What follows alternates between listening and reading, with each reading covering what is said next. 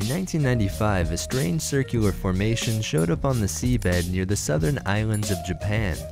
Where it came from or what created it, no one knew.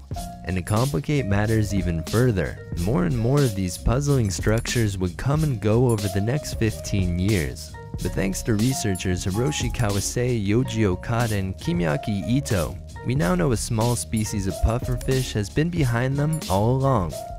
Each elaborate site is in fact a nest where a potential female will deposit her eggs. The males build them in hopes of attracting a mate, and success depends on the quality of the craftsmanship, for everything may be judged from the placement of decorative shell fragments to the quantity of fine sand particles. Now the outer ridges play an ingenious role. They funnel the desired sediment inward while reducing the speed of the water current, helping establish great conditions for the newly fertilized eggs to develop.